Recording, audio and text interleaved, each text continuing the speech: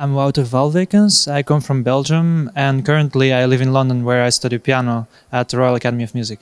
Oh, it's actually uh, the second time that I'm here and I'm always very surprised with the atmosphere in the festival and the quality of the of the concerts that it offers.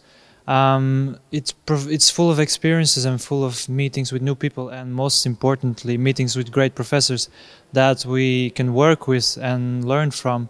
It's actually a very important factor of the course that we can watch the masterclass of all the professors, uh, also the professors that don't teach piano, because it's very important to be uh, groomed as a complete musician and know how all the other instruments work. All professors are of a great renown. So it's a pleasure also to watch uh, Gary Hoffman or uh, Veronika Hagen in their lessons, just because then you see how they they approach their their instruments and how these string instruments or wind instruments work.